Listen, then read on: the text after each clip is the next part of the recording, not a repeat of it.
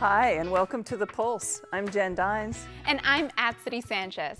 Here on The Pulse, we highlight some of the cool things that are happening at Metro East. Yes, we do. And a lot is happening right now with GetReel. Yeah, GetReel is a part of Metro East that provides services to schools and nonprofits. And we are so busy right now.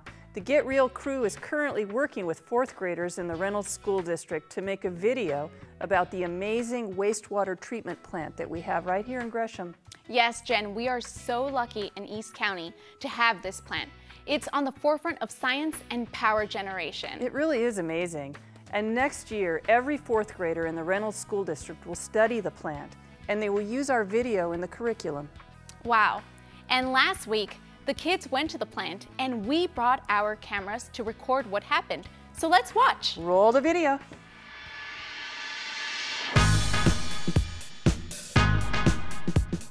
Everyone's excited to tour the wastewater facility today, right?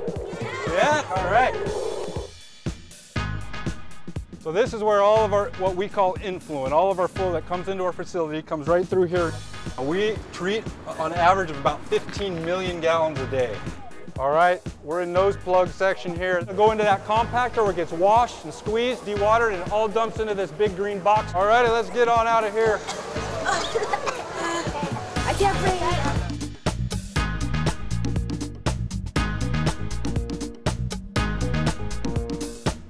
We're going to move on to our next step, which is aeration basin and activated sludge, which is a biological process. What's going on in here is we're adding air to keep those bugs happy. The air content's so high that we'd have a hard time floating in, the, in this water. You can see all this foam that's on the surface of our aeration basin. That's due to a filamentous foam.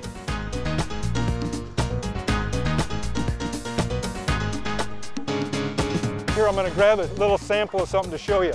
This is what we call the belt press cake. Or this is what's going into the truck and getting sent out to agricultural land for uh, soil conditioner. It looks like mud. It does, it looks a lot like mud.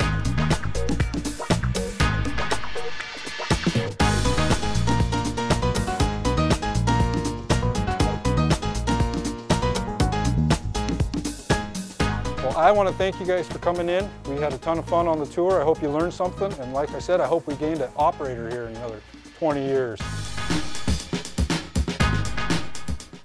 Oh, that was so fun. The mm-hmm. kids had a great time, and they really did learn so much. And now, the students are working with their teachers to pick some questions that they want to ask. A few will meet with the engineers of the plant. We'll record the questions and answers and use them for the video. And remember, next fall, more than 900 fourth graders in the Reynolds School District will use their video in their classrooms. 900, can you believe it? And that's just the first year. I am so excited. Me too. Thank you so much for watching, and we'll see you next time on The Pulse.